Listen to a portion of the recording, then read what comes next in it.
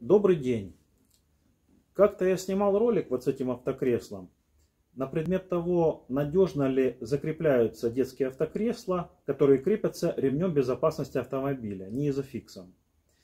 А, ну, получил некоторые комментарии разные. Например, там кто-то предположил, что я его прикрутил шурупами, а, кто-то предположил, что я его приварил сваркой. А, ну, в общем, это, конечно, не так. И я решил вот вживую показать весь этот процесс крепления и потом хорошенько его подергать, показать. И в конце э, провести там я хочу еще один эксперимент. Это тоже будет видеоответ на вопрос одного из подписчиков, который там сделал интересное предположение. И мы попробуем его проверить, так сказать, вживую. Значит, берем автокресло. Э, вот оно, ничем не приварено, не прикручено. Вот я его ставлю. Значит, и сейчас я его буду крепить. Откидываем чашу.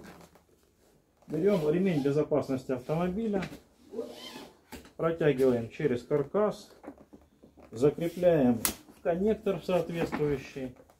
Все делаем аккуратно и четко.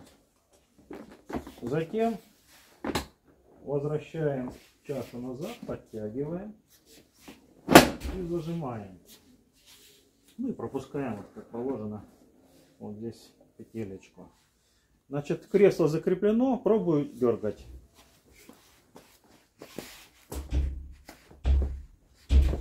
сдвинуть могу вот только вместе с этим тяжелым стендом. А, и, как обещал, а, второй вопрос, а точнее видео-ответ на второй вопрос. Значит, один из подписчиков предположил, что если в катушке, где намотан ремень штатный, которым крепится кресло, ослабнет пружина со временем, то автокресло, вот это вот, вот мы сымитируем это ослабление, вот ничего вверх уже не держится, то автокресло улетит в окошко. Значит, вот вверх ослаб, ничего не держит абсолютно. Я дергаю его опять.